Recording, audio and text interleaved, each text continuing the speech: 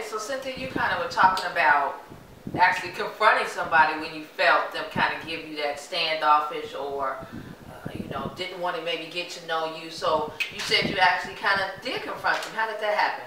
I actually, I was working with a young lady and um, I am who I am. And I am who I am. and I do not disguise who I am. But I was kind of new. My book was just coming out. And I didn't want to, you know, burn any ties Right. anywhere. But my conscience only allows me to be who I am. So I was going to do a talk show with a young lady, and she sat me down and told me, hey, look, this is like minutes before the talk show. Um, I don't want you to, to explain, to, to tell them anything about, you know, I want to talk about the addiction, but I don't want you to go into any detail about it.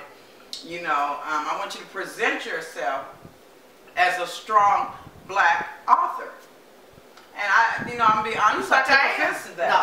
I took offense to that because I thought that she, you know, Right. I'm presenting myself as me. That's who I am. I don't, you don't have to prep me to be Right. who I am. Right, right. So, you know, I said, she says, I don't want you know to give, to give any horror stories about it or anything like that where you will scare any of my audience. Whoa. But me, Addiction myself, I felt as though these women need to be scared of addiction. I'm finna tell them the nitty gritty, but I'm gonna be honest, I lied. I said, okay, you know, fair enough. I said, okay, I'm gonna confront her on her own ground. I know that's right. So I waited till the camera started rolling, and then Like the law and order of music. so the first thing, you know, she had almost scripted what she wanted me to say, like who I was. So, and she had gave me these little paper, and I had it, you know, like because she was real delicate. She really didn't want to do it because of the delicate nature of my book, and so I, you know, I had the little paper, and she says, you know. Yeah, we have Cynthia Miller, and I says, she says, can you tell us something about you? I said, yes. Set that little paper down. Boom. Hi, I'm Cynthia Miller. Was a heroin addict for 23 mm-hmm. years. Mm-hmm. Mm-hmm. Be careful how you treat people today. You may, when you pass women up on the streets who are begging, hungry, dirty, because next year this time they could be your boss. I'm oh. somebody's boss today. So that's how I started that. Oh, Ooh, that's powerful. I'm sure she was like, cut, cut, cut. So late after, you know, as soon as we took an intermission, I did tell her. I said I was offended.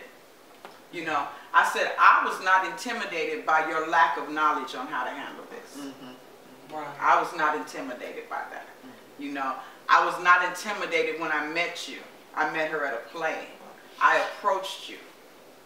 And I thought that you, your, your, just your spirit was stronger and that you were willing to accept anything that was out here. And addiction is real. Right. Everyone in this room has someone that has been an addict or knows someone that has been an addict. You know, so this isn't something I wanted to sugarcoat. Mm-hmm. So I'm gonna apologize to you for lying to you, but I have actually no intentions on sugarcoating. I'm actually gonna describe in detail the horrible withdrawal pain that I went through.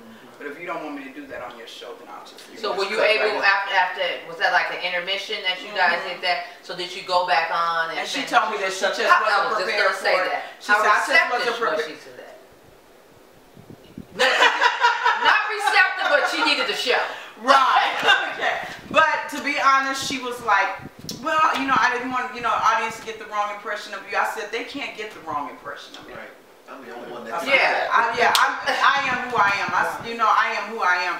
And I'm very strong on that. Because women work hard to come out of the tunnels. You never know oh, what tunnel a person may have oh, came out of. And I personally worked very hard to get Right. So Matter don't of fact, downplay. Right. I, this is April, just on April the 11th.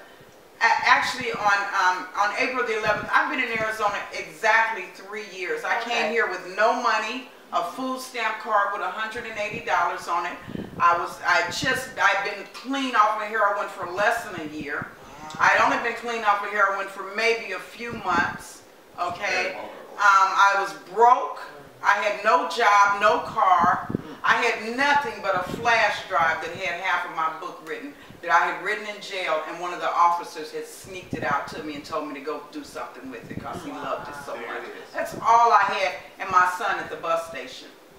You know, I had no friends, no phone numbers. I left the state of California so that I could give myself a running start. Mm-hmm. So when you see women, when I embrace women, I don't know what they've been through. That's I I'm don't know what you've been through. Or I just a few minutes before I saw you. You don't Right, know what I don't I've know been what you've been through. So I'm gonna embrace you as a strong woman. And absolutely, if I know your story is that that you have really been through the storm, I, I want you to tell everybody. I, I might blow your business up. Hey, this is my friend right here. Do you know she was in jail two years ago? That's You know, real. that's what I'm gonna That's a do. testimony. Right. So Right. that's a sisterhood that she could have built around that to Right. say, hey, You don't smother that type of thing. I'm proud of who I You can't deny Absolutely. someone the opportunity to share their. share And their that's what. I was gonna kind of kind of go back around because it was a point of you telling her, but it was constructive criticism. So in sisterhood, we gotta have, you know, it's always nice. I know we always want to hear, "Good job, Audrey. You did this right. You did this right. Good job, Audrey. Good job." But we don't always want somebody to agree and good job. We we don't Yes do people, yes every people. right. We don't need a bunch of yes people Right. around us. I know. I don't. We need constructive criticism. So Yeah. you call your friends out on the carpet that's 30 years old, I mean 30 uh, years, 30 year friendship, and you give them constructive criticism, and you're okay with that. It flows easy for you. Yeah, because I just felt like honesty is the best policy. I always felt like when you know better, you do better. Mm-hmm. And I just like I don't like being around yes people. Like I feel like I can take it. If you can dish it out, you should be able to take it. And you want to be around people that that hold that hold you up. You know, Right. I like people that are front, back, and side to side. Cause I know I ain't perfect. I Right, know everything. right, I right. make mistakes. But like call me out on that because sometimes I can't see everything. I can't hear everything, and I can't feel everything. So have my back. Right, I'm tripping. Let me know, Michelle. Right. Stop that, girl. Okay, I'm a, I can take it. Not everybody can take it. And not everybody can. I can take it right. Not everybody That's can take how I am. Hit me over the head with our crab out lady, and thank you to Right. right. you know, but hit me over the Yeah, head. and one thing I've, I've actually um, grown, grown really fond of this term I use a lot called accountability partner. Yes. I, when I'm involved in building a relationship with Mhm. someone, I make it very clear that that's the type of person I Okay. am. Up so if you say to me, my goal is X, Mhm. and you out there doing your thing, and you're not fulfilling your goal, and you're mm-hmm. doing things that are mm-hmm. counterproductive to your goal, I will share that with you. Right. That's Because right. you said to me, I trust you to be my accountability partner. I said, okay, I can do that. That's good. I can do that. And then I try to solicit that same from people that are around me or Right. close to me that can do that. Because not everybody, you're right, not everyone can do that. Right. Not everyone can do it. And you also have to come from a, and I don't want to sound, you know, mushy, but you have to come from a kind of gentler place Yeah. in your heart Mhm. to be able to do that. You and I had a situation Yeah. similar to that, right? Mhm. And so I said, you know, this would be really, really helpful, right? If we did this. Mhm. And if you do that, I can take that and run with it. And I went back to Xavier and I told I said, this is what she told me. And I felt to I felt grateful Yeah. that you told me that. Yeah. Because maybe I would have thought about two years from now. But I need it now. Yeah. You know what I'm saying? Well, and I need it You now. You know what I'm saying? It- I'm it's finding all to that. But Yeah. you, you, you, you, once you told me that, my mind really started expanding. yeah, yeah. So I am grateful Yeah. That you told me that, Audrey, well, what about this? I like this, but I think you should probably expand on this also. If you did this, I could use it like this. Right. And other But like this, I may not be able to use it. Correct. But if the goal is for us to use it, I need these things. And if that's you can incorporate that, and I'm gonna tell you, I, I actually thought long and hard about how do I do that. mm-hmm, mm-hmm. Because we're still building our relationship. We're in the sisterhood, but Right, we're still building on that. right. So I didn't want to destroy that, but I said I gotta tell her. Right. But how right. do I do it? What words do I use? Lord, give me the right words. Right. Because Mm. I need I need for her to know this so that we can continue I heard, as to you, work on as this. you know, I heard it. You did. so that was my most recent Yeah. example of having to do that. Yeah. But I've had other situations where, you know, and it just kind of depends on the level of of um, I don't know disrespect or, Mhm. or you know whatever it is. There's some situations I won't even broach it. I'll be just like, you know what? Mm, I'm not taking another phone call. Okay. I, she don't even deserve an explanation that Right. that was so wrong. yeah. That was so wrong. Ooh, that's so true. You don't even deserve an explanation from me because you know that was wrong. Right, you know. You know it was wrong, and you did it anyway Right. publicly. Mm. Right. So we just gonna go ahead and push that to the side, and you'll never get another phone call from me. Huh. That reminds me, and I'll ask you. We can. I'll ask you guys to. Uh, I'll answer this. In the sisterhood, you know, we're we're all pretty close in age, a few years difference or whatever.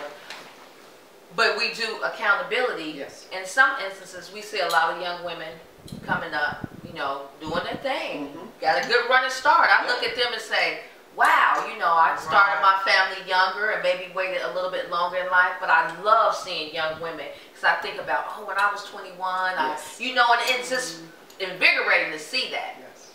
But how do we, because some of the lingo and some of how women even, the way we grew up is a little different. Mm-hmm. And that's kind of a whole nother show. It is. too, you know what I'm It saying? is. So how do we hold or how do we nurture or bring them into sisterhood or hold them accountable, call them on the carpet, constructive criticism to a, maybe a younger woman that we see maybe need just a little molding that we see maybe something we can help them with. Well, I personally experienced that a lot um, because I have a daughter that now lives with me that's 17, a daughter that I had not seen since she was a, that I had not had not lived with me since she was a baby. So I definitely, and she grew up in a rough area. She went through a couple of foster homes, so she's definitely been tuned a little different. Mm-hmm. Mm-hmm. So needless to say, we've had our, you know, our challenges. Right, right. However, the way I, I find to deal with her is just straight out. And when she first came to me, she, oh my goodness, she complained to everyone about me, you know. Oh, she finds everything wrong with me, and she's so rude, she's tasteless, she's tacky, she's, you know. But I found out, I, I had to feel in my heart that if this, and because she's my daughter, her relationship with me means something to me. Mm-hmm. Right. And not only does it mean something to me, her relationship with me, her relationship with the world means something to me. Man. Okay, so I have found that a lot of these younger women, and I'm not saying anything towards any woman in Right, particular, Right. but a lot of them don't understand, and you know, excuse my French, but this is my favorite saying with her: "Classy ass be fast ass any day." No, that's. Okay, so now if you're that, that and that's the truth. And so I, I'm constantly, it's a constant st- struggle with her. Like every few minutes when I'm in her company, I have to, hey, uh-uh, go, hey, don't, don't do that. You know, so now she works for me, you know, and she knows how funny I am about respect and how you, how you present yourself and stuff. So she knows she has to keep that reputation up. And I know that if she can keep it up for four hours of the day with me, that eventually she'll have it for It'll six keep hours. right, It'll have you it for go. ten hours. You know, and what I do now, and I have book events, I say, okay, now we have an event. Right. Mm-hmm. Okay, so now what you need to do mm-hmm. is have all the books set up this way. Mm-hmm. And you need to be careful. I don't want you, I want you to be careful. These are adults you're dealing with, even though she's 17. But we can't go around criticizing these young girls, you know. You know, you can't be out here sleeping, you can't be out here doing this and doing if you haven't given them something, else to do. We have to give our young people something else to do. Otherwise, we're not doing nothing but putting ourselves on a haughty horse. Well, you know, I grew up in a different time, and I don't dress like that, and I don't act like that. But what am I doing? You know, I'm criticizing them. I have to show them who I am. I have to help them to find who they are. See, they're not going to find who they are doing the same thing they're doing. So we have to give them a direction to go in. And they, if you, you know, if somebody knows, if somebody tells me, you know, hey, drive to Michigan, and somebody says it's that way, and you start looking over there and you start saying, oh, you know what, I do want to go skiing, and you take a step. Mm-hmm. You know what, it's kind of close to Canada, and you take a step. Mm-hmm. But if somebody just say, you know what you need to do is you need to just go and stay up in Michigan where you can do better. Like, I don't want to stay there. And what's there for me? And what's there for me? So you have to show people something better.